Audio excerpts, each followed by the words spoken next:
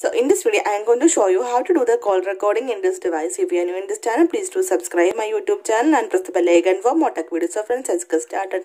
So in this device, you will get the call recording option. I will show you how you will get the call recording option. For this, go to the dialer application and tap on the three dots on the top right side. Tap on the option settings. So here you can see the option call recording. Just tap on it. So here you can see always record number note in your contact.